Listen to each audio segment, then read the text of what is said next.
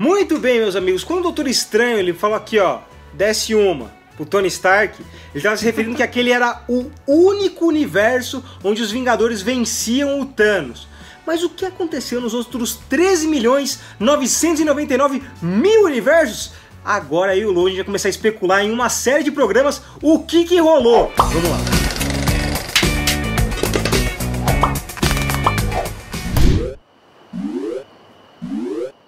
É o seguinte, meu amigo, fica a última lembrança, dia 25 de maio, famoso amanhã, vai rolar a Super Live Nerd. Nós reunimos o maior número de nerds possível e a gente vai discutir sobre vários temas, vai ser muito legal, vai ser 6 horas de live, meu amigo. E a ideia de tudo isso, é claro, é ajudar outras pessoas que estão passando necessidade durante essa pandemia. Então não perca tempo, se inscreva no canal, ativa o sininho, que amanhã, a partir das 16 horas, 6 horas de live vai rolar aqui no Omelete. Clica no link na descrição para saber mais informações e amigo, a gente se vê amanhã. Mas antes de qualquer coisa, faça parte dos 13 milhões 999 universos e esteja inscrito nesse canal, em todos os universos. Não se esqueça de se inscrever, deixar o seu like e comentar também qual é o universo que você mais ficou curioso de ver. Vamos lá, Lodi, para começar essa discussão, a gente tem que considerar alguns pequenos fatos que levaram a esse universo específico acontecer. Um deles, por exemplo, foi o Doutor Estranho entregando de bandeja a joia pro Thanos. Quando ele entrega de bandeja a joia pro Thanos, ele olha pro Tony Stark e fala isso daí. Tony, there was no other way.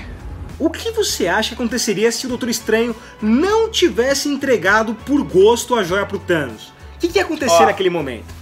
A primeira coisa que vem na minha mente, que eu lembro do filme, é que o Tony Stark ele já tá pra morrer. Então, claramente, o Thanos ia matar o Tony Stark, ele entrega a joia, porque meio que ele negocia, né? Ele fala, É. pô, poupa o Homem de Ferro aí que eu te dou a joia tranquilamente. Então já mostra que, tipo, o Tony Stark ele é uma chave importante pro universo que o, Tony, que o Doutor Estranho viu. É. Então, se o Tony Stark morre, eu acho que, tipo, mano, não tem chance dos Vingadores conseguirem salvar o mundo, sabe? E a É. gente já tá vivendo aí por causa do Thanos. Eu acho que começa por aí, né? Tipo, o que ia acontecer? Eles iam conseguir se vingar, aquele começo do filme ia acontecer normalmente, eles iam atrás do Thanos, eles iam cortar a cabeça do Thanos e até aí beleza, né? Tipo, ia acontecer e até aquela vingança. Mas quem descobre a viagem no tempo, né? Quem entende da viagem no tempo é o Tony Stark.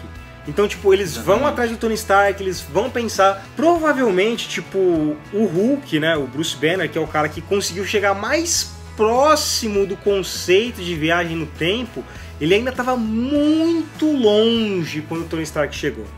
Exatamente. Eu acho que até mesmo se a gente vê que, sei lá, o Tony Stark não consegue de jeito nenhum, o Hulk ia demorar muito Hum. pra conseguir aprender. E quando ele aprendesse, talvez alguns personagens ele nem estaria mais vivo, sabe? Já tá, já estaria um caos totalmente no mundo. Exato, assim. porque Então, o que acontece, né? Nesse meio tempo, a Viúva Negra ela criou todo um exército pra patrulhar o universo, né? Tipo, o pessoal reportava pra ela. Então, a Capitã Marvel, a Okoye, o Rocket e o Máquina de Combate, todos eles ficam conversando com ela, né? Daquela, conferenciazinha no começo do filme. Então, é muito possível que no meio desse caminho, algum desses heróis tenham morrido. De tipo, Sim.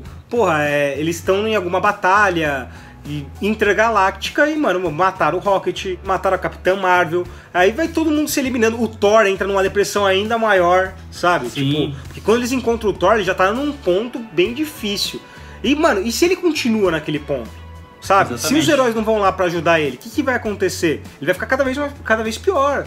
Então, tipo, você não ia ter o Thor fortão que chegou a enfrentar e etc. A gente acha que a gente não ia ter esse Thor.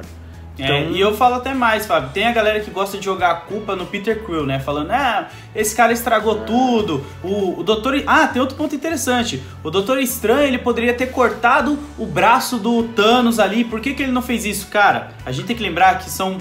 Tem, ó, a gente pode pegar o exemplo daquele outro personagem que é um dos filhos do Thanos, que ele morre lá em Wakanda por uma nave.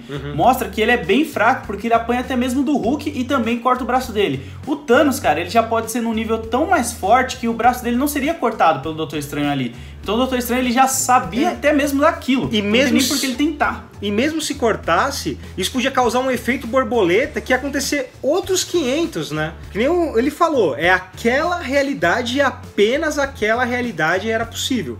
Pô, se corta o, o braço do Thanos ia pra outro rolê. Mas vamos focar nessa uma realidade que a gente tá indo.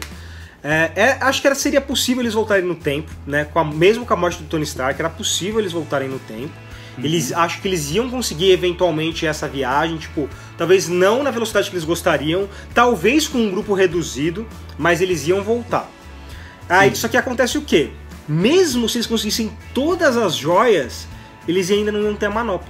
Quem ia ter verdade. feito a manopla deles, né? Tipo, o Tony Stark, ele tinha, teve um papel tão fundamental nessa parte final que, beleza, eles podiam até eventualmente voltar no tempo, mas sem ele, ferrou. Please. It's not about me. É, ele é a cabeça, né, cara? Ele é o cara que cria tudo, ele descobre a parada, ele é uma das chaves bem importantes no filme. Uhum. E eu não diria que é só ele, não, tem outros personagens também, mas ele é uma das centrais, assim, que É. precisa pra fazer a parada acontecer. Eu, né? eu acho que se o Doutor Estranho ele não entrega, deixa o Tony Stark morrer, depois ele eventualmente ia perder a joia força. Porque isso, mano, o Thanos já provou que Sim. ele pode dar um pau no, no Doutor Estranho. Durante o filme Exatamente. ele faz isso, né? O Doutor A Estranho ele faz eles lutando e não, não adianta muita coisa. Não né? adianta muita coisa. Ele imediatamente descobre qual que é o verdadeiro, puxa no braço e pum, enforcou.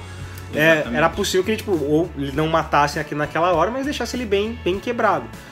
Mas sem ele, tipo assim, você não ia ter a manopla. Aí beleza. Digamos, digamos que eles cons- consigam criar uma manopla B, tipo o Hank Pym cria. O Hank Pym tá morto também, não tem Hank Pym.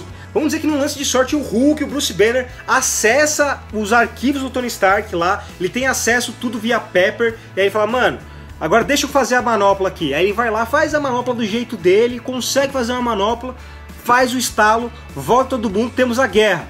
De novo, o problema principal. O Tony Stark não ia estar lá pra recuperar as joias e fazer tipo, pum, estalei o dedo, sabe? Na, na cara do Thanos. Não ia ter como recuperar. A hora que o Thanos pegasse a manopla, já era de novo. É, tanto, tanto é que é nesse momento ali que o Thanos fala, né, que ele é inevitável. E o Tony Stark, ele quebra isso, sabe? Então eu acho que é por isso que é, é a importância da gente ver por que, que o Tony Stark precisava estar vivo nessa realidade que o Doutor Estranho viu, sabe? É a única Exato. realidade que falou, putz, a gente precisa... que- Porque é esse cara que vai salvar a gente. Não é o Homem-Aranha, sabe? Não é o Capitão América, é o Tony Stark. Não é nem por questão de força, né, Fábio? É mais da questão da cabeça mesmo. O cara é esperto, ele vai saber desenvolver isso É, pra gente. Eu, eu acho que mais que o heroísmo dele, o mais importante nesse rolê foi a sabedoria dele. Então ele acelerou a viagem no tempo, ele entendeu antes que todo mundo como isso poderia ser feito. Ele criou a manopla e ele criou uma maneira de tirar as joias da manopla pra botar no negócio dele. Então, tipo, acima de tudo, a cabeça dele é a mais importante, sabe? Exatamente. E tem um momento, Fábio, que eu acho interessante que o Tony Stark pergunta, né, pro Doutor Estranho, tipo, e aí? Sabe, o que, que você viu e tal? E ele não conta, porque eu acho que se ele contasse, o Tony Stark não teria esse arco todo, sabe? Que a gente Não. vê dele tendo de redenção até mesmo, sabe? Ele, às vezes ele conta, aí o cara já não quer se sacrificar, já fica pensando mais na filha, É. sabe? Na família. Exato, porque se ele conta naquele momento, sabe o que podia acontecer? Ele podia falar, não, a gente já tá na realidade correta, sabe? Sim. Tipo, é, e se ele conta o que ia acontecer exatamente, tá na realidade correta, vou achar uma outra alternativa. Não, ele, ele precisava saber que a, ele só- tudo que ele precisava saber é que essa era a realidade correta e que, mano, ele ia ter que fazer alguma coisa pra essa realidade acontecer. E aí ele fez o que, fez, o que tinha que fazer. Então Isso. é o seguinte, manos. A realidade 13.999 o Thanos vence por quê? Porque o Doutor Estranho deixou matar o Tony Stark. Então eu acho que essa é uma realidade. Nós temos ainda longe 13 milhões 998 mil programas. Meu Deus do céu. 999, é. Pra, não, eu contei errado ainda. Pera aí, deixa eu fazer de novo. Nós teremos ainda 13 milhões 998 mil.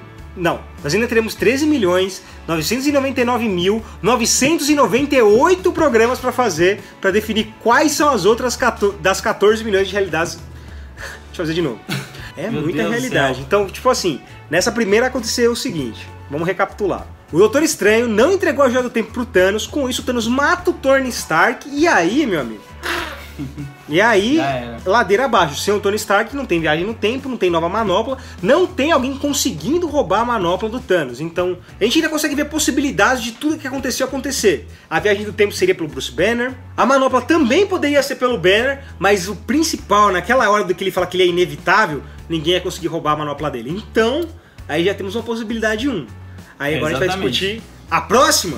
Um próximo vídeo, meu amigo. Meu Deus tem céu, um o monte YouTube ainda. segure isso aí. Que segure, tem 13 Deve tá milhões! vivo Meu amigo, diz aqui nos comentários qual é a sua realidade. Cria uma teoria aí pra gente também, pra gente discutir aqui junto. Não esquece de curtir o vídeo, assinar o canal e ativar o sininho pra receber todas as novidades do Omelete. Beleza? Valeu!